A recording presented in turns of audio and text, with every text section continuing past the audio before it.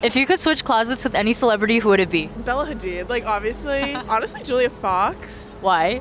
She's cool. She's very unique. She has her own sense of style, and it's very cool. And what's a fashion trend that you don't want to see in 2023? Ooh, high-waisted jeans. High-waisted anything. Why? I feel like it just it's gone too overboard.